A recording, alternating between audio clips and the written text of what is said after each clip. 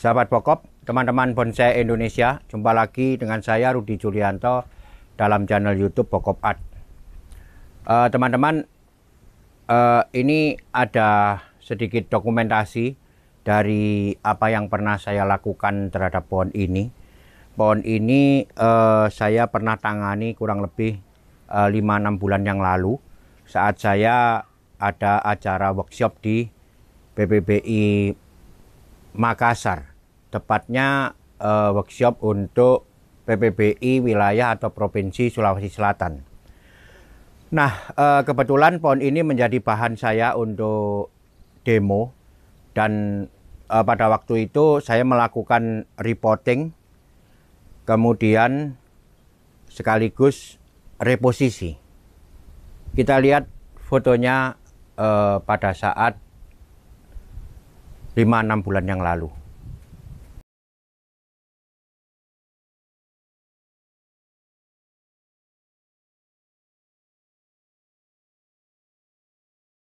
Untuk itu saya besarkan dulu. Pembesaran yang yang harus dilakukan adalah tetap memelihara ujungnya ini. Jadi ujung ini di, jangan sampai terpotong. Ini yang kita pelihara. Sedangkan pertumbuhan yang lain kita buang dulu dengan cara menyisakan satu atau dua e, anak ranting nantinya yang di bawah. Jadi seperti ini, saya sisakan satu, dua, tiga.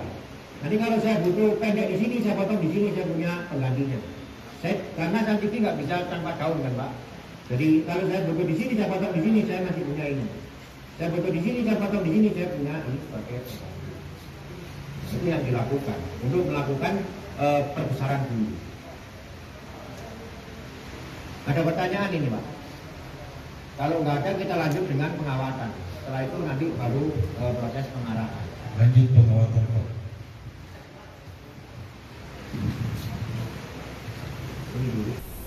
Nah itu tadi uh, beberapa dokumentasi kita tentang pohon ini uh, meskipun tidak begitu detail tetapi uh, saya hanya kepingin menceritakan momennya atau mem memberitahu momennya. Ya, uh, pohon ini sudah saya posisikan sedemikian rupa dengan alasan-alasan yang uh, sudah saya jelaskan pada saat saya demo. Ya, jadi sekarang akan saya ulang dengan posisi yang seperti ini, saya bisa menunjukkan segala segala uh, kelebihan ataupun potensi dari pohon ini. Dimulai dari gerakan batangnya yang sangat luar biasa ini menurut saya ekstrim luar biasa, enak tidak tidak apa ya tidak janggal gerakan batangnya uh, sangat sangat bagus ya kemudian uh, pemilihan untuk jalur yang menuju mahkota utama juga jelas kemudian pemilihan jalur untuk menuju mahkota yang kedua juga jelas ya jadi ini terbagi pohonnya teman-teman ya menjadi tiga bagian empat ya ini saya hitung ya satu dua dua menuju kemari, tiga menuju ke bawah sini. Nah, kemudian yang keempat ada di belakang, ini gede sekali. Nah, ini kekuatan tumbuh pohon ini. Tentunya eh, di dalam membuat kerangka ataupun di dalam menentukan desain awal, saya harus membaca kekuatan tumbuh dulu. Jadi apa yang nanti akan kita lakukan adalah mengikuti kemauan pohon. Ini yang saya maksud dengan cara bagaimana dengan cara membaca, membaca kekuatan tumbuh yang ada. Karena ini Yamadori, pohon dongkelan, maka apa yang tersedia dari alam kita pelajari dan kita analisa terlebih dahulu. Sehingga kita nanti bisa menentukan desainnya mau apa. Nah, dari pohon ini saya telah memilih satu kekuatan tumbuh untuk menjadi terusan eh, ke mahkota utama. Kemudian kedua, ketiga, dan seterusnya.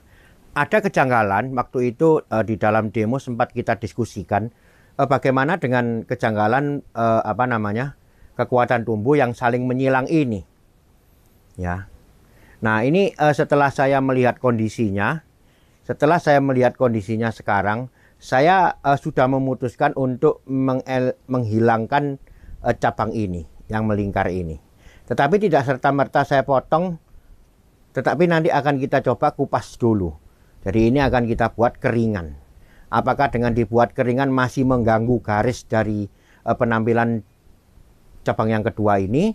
Nah, nanti kita lihat hasilnya. Nah, ini yang ingin saya sharingkan. Bagaimana kita memperbaiki gerak dasar, bagaimana kita memperbaiki penampilan pohon ataupun uh, mengurangi kejanggalan. Ya, kejanggalan tentunya uh, akan selalu ada, tetapi uh, tugas adalah tugas kita untuk uh, paling tidak bisa mengurangi atau mengeliminir uh, kekurangan dari masing-masing bahan bonsai. Ya, jadi uh, sudah saya pelajari apabila ini saya keringkan, maka jalurnya yang menuju ke arah cabang yang ini adalah ini. Ya, ini jalurnya. Ya, saya tidak akan mematikan ini sampai kemari, tetapi cukup sampai di sebelah sini. Nah ini bisa dilihat ya. Ya, dari sini akan saya keringkan. Yang ini akan saya pertahankan. Nah, kemudian permasalahannya setelah itu adalah tidak adanya pertumbuhan dari jalur ini. Nah, ini bisa dilihat ya jalurnya ini. Kemudian ada pertumbuhan kecil-kecil sampai ke istilahnya apa ini bonggol ini belum ada pertumbuhan lagi, tetapi uh, ada tunas yang uh, merupakan harapan saya nantinya. Nah, ini teman-teman jalurnya. Ya. Jadi kalau itu tadi saya potong, kemudian saya menyisakan ini aja dari jalur ini. Ya, ini nantinya mau diapakan? Tidak bisa saya matikan segede ini, sayang.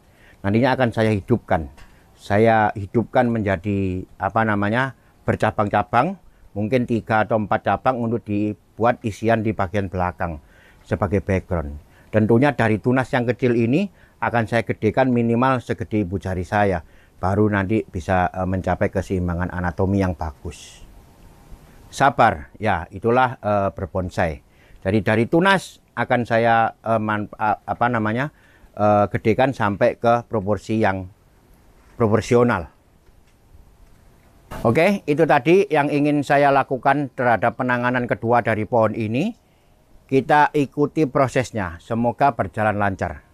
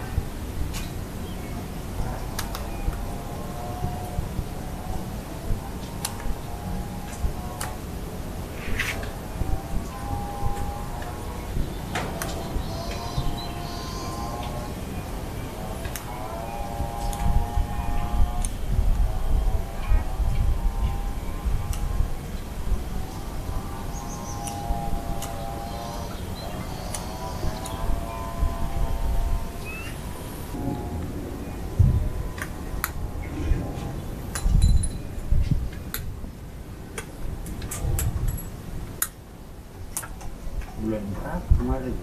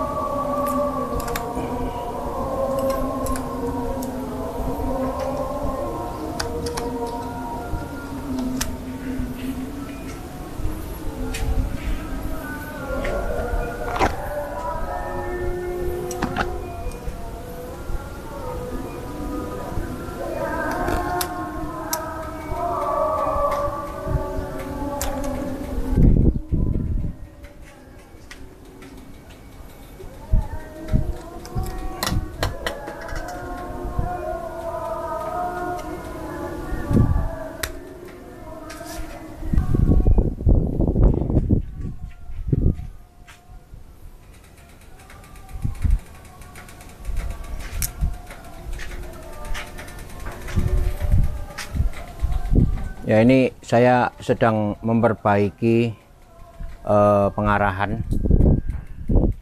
Jadi yang ini akan diteruskan menjadi jalur menuju ke mahkota utama. Masih kurang gede, akan saya gedein dulu. Kemudian yang ini tadi udah cukup. Saya potong untuk diteruskan uh, nanti kita kawat generasi berikutnya. Ya ada beberapa yang sudah uh, bisa dipotong. Yang lain masih belum. Jadi ini masih perlu digedein dulu, termasuk yang di sebelah atas itu. Uh, ini sudah.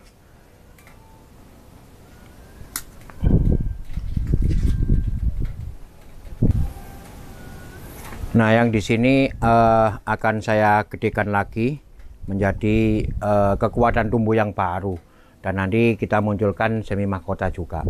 Di belakang uh, sudah cukup ini nanti akan kita rangkai menjadi susunan mako semi e, kemudian ini adalah pengikutnya. Ya seperti di awal setelah pengupasan ini e, saya akan menumbuhkan banyak sekali. Ada tiga atau empat nanti di bagian belakang untuk mengisi background di bagian belakang.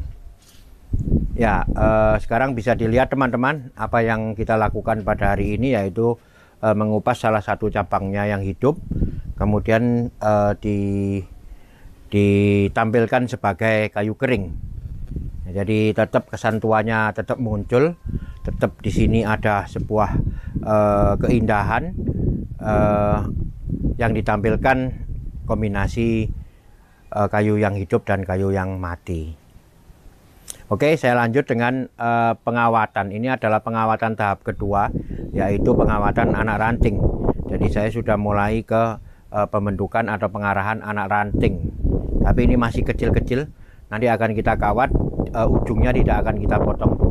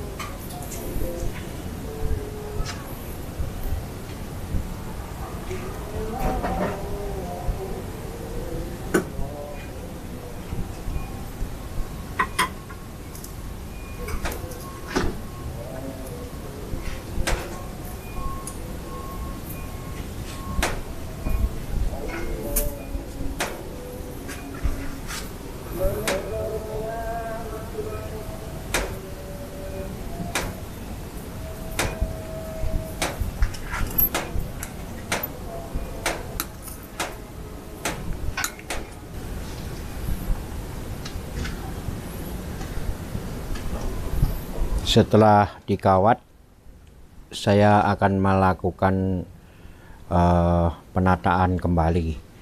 Kali ini penataan pada anak ranting atau kerangka yang kedua kerangka tahap dua maksud saya. Jadi kita uh, membuat penataan ran anak ranting yang menyebar. Yang menyebar nanti sesuai dengan uh, dibentuknya kelompok-kelompok tajuk.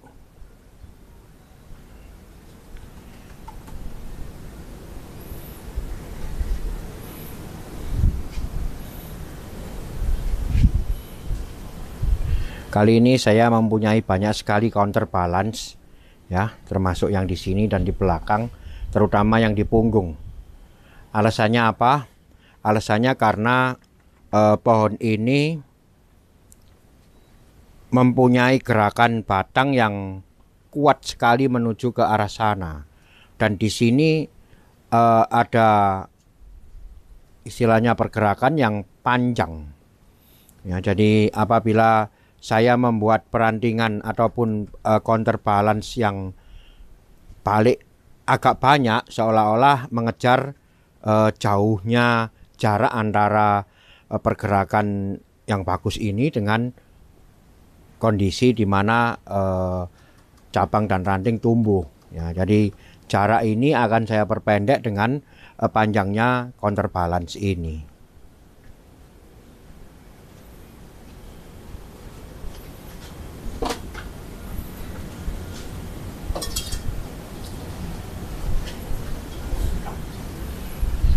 Hmm, jadi dengan demikian eh, pohon seolah-olah tetap bisa bisa menyatu dengan gerakan yang eh, berbeda ini kemudian ada jeda yang lurus panjang nah ini bisa diharapkan nanti menyatu dengan kondisi ataupun komposisi eh, perdaunan yang berada di sebelah sini.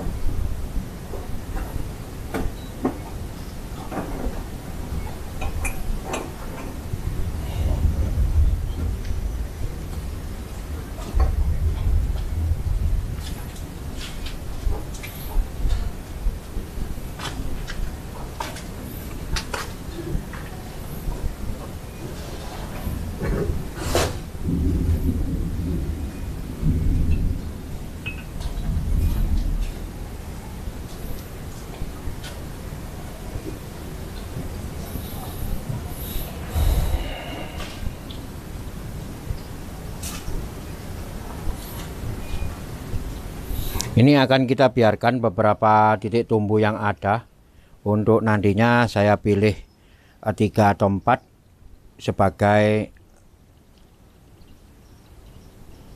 background di sebelah sini. Selain itu eh, karena di sini kita tadi matikan, maka eh, di sini harus tetap hidup dengan cara bagaimana? Dengan cara menghidupkan beberapa eh, cabang nanti di sebelah sini.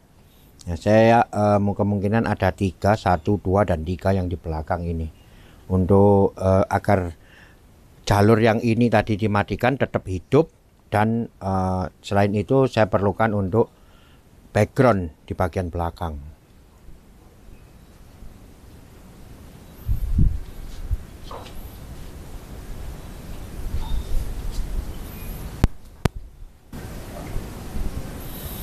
Sudah selesai teman-teman. Jadi inilah uh, penanganan saya yang kedua pada pohon ini setelah jeda waktu kurang lebih 5-6 bulan. Uh, ternyata pohon tumbuh dengan baik sehingga apa yang ingin saya besarkan di awal sekarang udah banyak yang tercapai pembesarannya dan saya bisa melanjutkan ke proses berikutnya atau tahap berikutnya yaitu penataan uh, anak ranting jadi inilah pembuatan bonsai secara bertahap. Tidak bisa kita langsung instan begitu terjadi kumpulan daun langsung kita potong. Tidak bisa. Jadi tetap struktur anatominya harus dibuat dengan jelas, dengan baik. Artinya dari perpecahan cabang menuju ke ranting, ranting menuju ke anak ranting dan seterusnya harus kita buat. Itulah proses uh, atau cara bagaimana kita membuat bonsai. Jadi apa yang kita proses adalah perantingan. Perantingan yang menuju ke mana? Menuju kematangan. Kematangan atau biasa uh, dalam bahasa Inggris disebut major. Apabila pohon dikatakan major adalah pohon yang sudah mencapai perpecahan ranting yang maksimal. Jadi itulah yang dicapai. Oke, uh, ini adalah tahap kedua. Tadi sudah kita uh, saksikan beberapa uh, kita uh, saya melakukan uh, apa namanya langkah-langkah yang yang yang yang uh, sebenarnya adalah koreksi ya jadi setiap penanganan bahan bonsai ataupun bonsai uh, kita selalu melakukan koreksi jadi ini di awal uh, saya masih ragu akan membuat kupasan kayu kering atau tidak, tetapi pada uh, hari ini penanganan tahap kedua saya sudah bisa mengambil keputusan untuk uh, dibuat kayu kering. Ya, pertimbangannya adalah karena uh, pertumbuhan yang saling menyilang. Kemudian uh, dengan demikian uh, saya bisa lebih jelas menampilkan kekuatan tumbuh yang yang batang eh, cabang yang satu ini sehingga uh, bisa dilihat dengan jelas mulai dari kekuatan tumbuh, arah tumbuh dan seterusnya. Oke, okay. uh, saya pikir ini cukup. Ini saya putar dulu teman-teman, mungkin bisa dilihat.